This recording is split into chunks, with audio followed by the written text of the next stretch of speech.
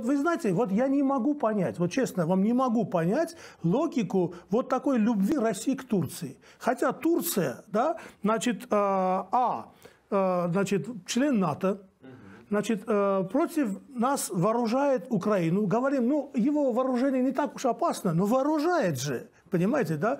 Э, Турция, гражданин Турции, значит, э, капитан вооруженных сил, ввел раскол православия, да, это же это же э, гражданин Турции, понимаете, этот значит, парламентом, да?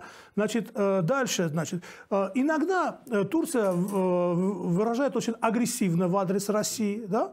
Значит, угрозами, что мы можем вам против вас поднять 25 миллионов мусульман там, и так далее, вы там себе, это ближайшее окружение Эрдогана говорит. И вот это наше сотрудничество, мы продаем им оружие, мы продаем, мы создаем для них газовый хаб, мы строим им атомные станции. Вот это односторонняя вот такая э, любовь к членам НАТО не провоцирует ли других членов ОДКБ, Евразийский Союз, чтобы сами лично вышли тоже над другими членами НАТО и вели такие же сотрудничество, вели такое. Оружие продавали, покупали там. Ну, сказали, ну, ребята, вы же можете с Турцией там торговать, Вам продавать. можно, почему нам нельзя, да? да. Уже такие голоса вот, раздаются. Вот именно. Да. А